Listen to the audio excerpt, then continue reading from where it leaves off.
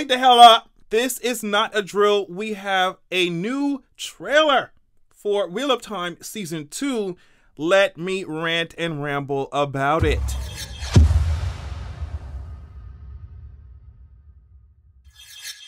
Now, if you're new here, there will not be uh, major book spoilers or anything like that, spoilers in general, because I am not a book person. I'm really just following the show for right now. Um, and so we're to talk about what we see in this trailer, why I'm excited. Let's get into it. So, you know, this trailer starts out with Moiraine talking. I mean, this entire trailer, Moiraine was just giving warnings. I was just like, girl, damn, calm down. Damn, girl, we understand. The dark one, the dark one, damn, girl. Like, Moiraine said, everyone has a choice. Every choice has a consequence. We understand. Thank you, girl. Moiraine looking good as hell in this blue. We see the white tower of the Aes Sedai. The girls will be training here. Um, I can't wait to see to like dive deeper into like the culture and society of the Aes Sedai, um, and all of that. But I also can't wait to see the girls uh tap into their power to, tap into the one power. Stop playing with me. Like for real, for real. Like I can't wait to watch them train for real, right? So Moiraine then says, we didn't defeat the Dark One. We set him free. We saw that last season when that shit cracked, that stone cracked, and she was like, girl, this shit not supposed to crack, girl. He coming out. you remember that shit? uh, when Rand and Moiraine was around each other, they was fighting with like, I guess a messenger of the Dark One or whatever the fuck that guy was. You know what I'm talking about. Rand is looking good. I ain't gonna lie to y'all. I mean, I ain't gonna lie to y'all. I don't know. This show, apparently you had to be fine as hell to even audition to this bitch. oh my god, Rand is so fine. Anyway, he's staring out, standing out, looking for me, I'm sure. Whatever. Let's move on to a queen. Let's move on to Egwene. She's using the one power here. Oh, and also, speaking of another queen, we see the red Ajah Liandrin. She over here being messy as usual. Look at this wig, honey. Look at this wig. Ha ha. Liandry, Liandry gonna be a problem as usual. As you know what I mean, she's gonna be disturbing the fucking peace. then Nynaeve said no one should have that much power in the trailer. That's what she said. No one should have this much power. I'm like, girl, guess what? Guess what? I'm not gonna do when I if I can detect that I can use a one power better than everybody else on the motherfucker or a lot of other people on the planet. I'm gonna be like, bitch, I should have this power. Now you bitch should sit down and bend the knee. That's it, girl. She talking about nobody should have this power.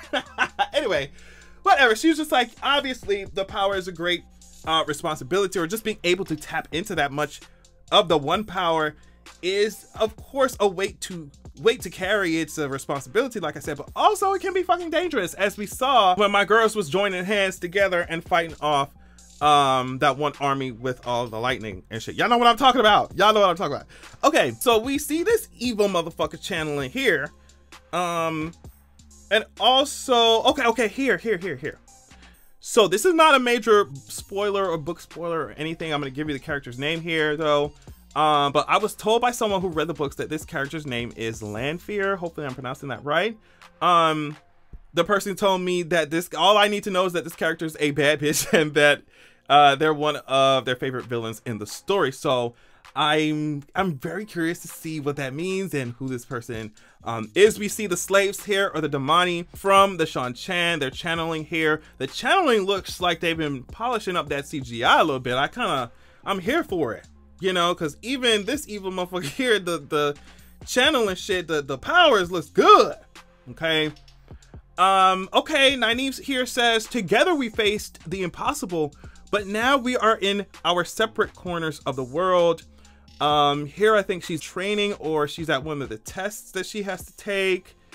Um, I just, I don't know. I can't wait till we see these girls ripping these people's heads off. Like, uh, you know what I mean? Like, figuratively speaking, of course. You know what I mean? Like, I can't wait to see them really get into the one pound because I remember when I first got into the first episode of Wheel Time for the first time, and I was just like, seeing Egwene, seeing Egwene, seeing Moiraine, um, zap them bitches up, zap them trolls up. Like, I got my life.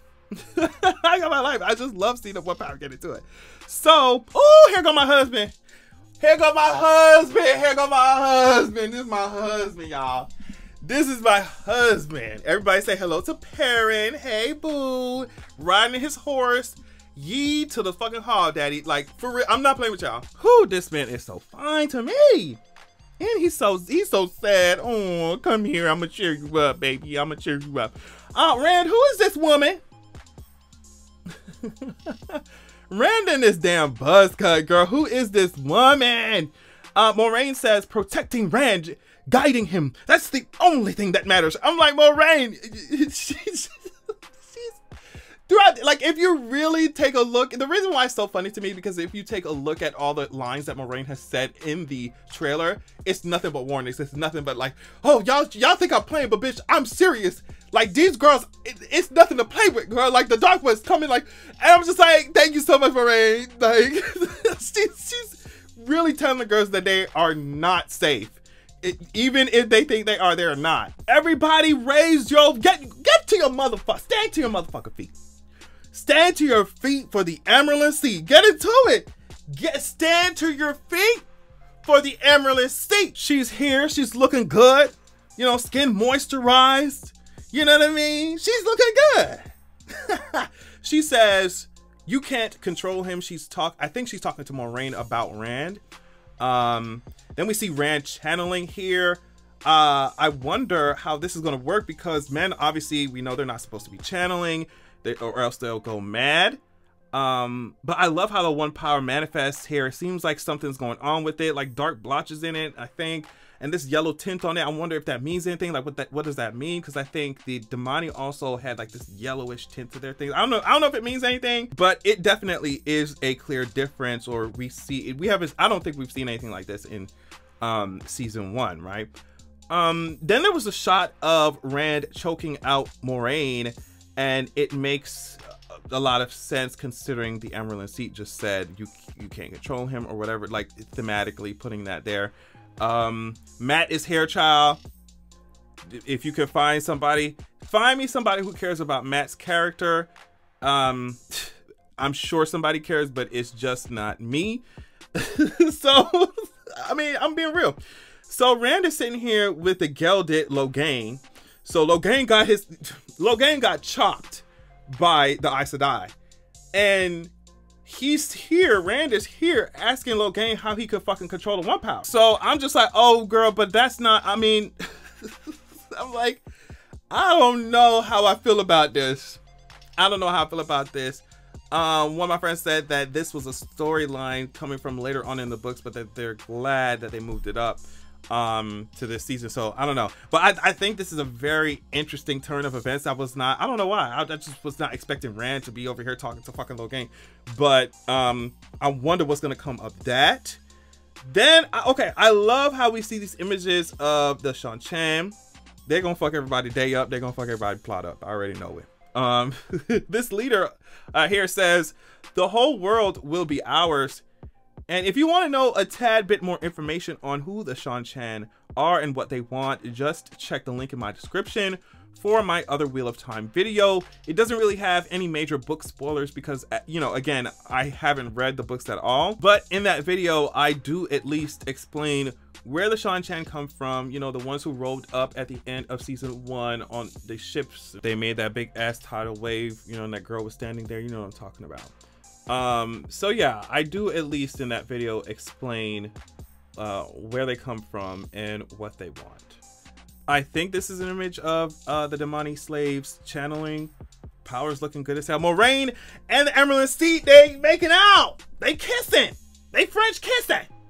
This is exactly the kind of queer homosexual homosexuality I want to see. Homosexual. apparently, bigots are over there calling it woke of time, apparently, and I love that.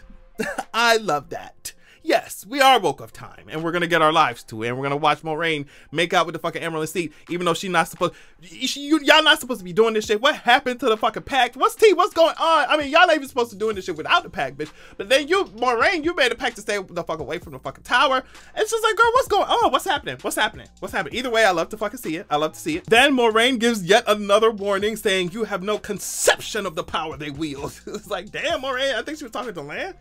Like, damn, girl. Like, okay, Everybody, y'all need to get take y'all asses to the bunkers in single file line because Moiraine is out here freaking out. then I think we see Aviendha, I think. But the Aiel people, uh, desert people, they love using spears. I also talked about them in um, the video in my description box, so check that out. Then we go to the Red Ajah again, Liandrin saying, and she's saying this, it's not always the powerful who write history, it's the ones who survive. Um, then Rand is over here talking to Amyrlin Seat, saying, I'm tired of being a spoke in the wheel. I'm tired of this, Grandpa. I'm tired of this, Grandma. And Grandma said, Well, that's too damn bad. She says, You're not a spoke, boy. You are the water that turns the wheel itself. So what is Rand going to do with all this power? What decisions is he going to make? Um, who is he going to fuck over? Is he going to, you know, grow this hair out from a buzz cut to look more like Logain, like a um, you know what I mean? A white Jesus. Like what is what what is Rand up? What is Rand up to? What is Moiraine doing? What is Nynaeve? Nynaeve gonna be tugging on that braid? What's going on with Egwene? Perrin is my husband. You know him. What's going on with them fucking wolves? Bitch, we eh, September first. September first. We are prepared. And so is my wig. Thank you so much for watching. I will catch y'all later, y'all. Peace.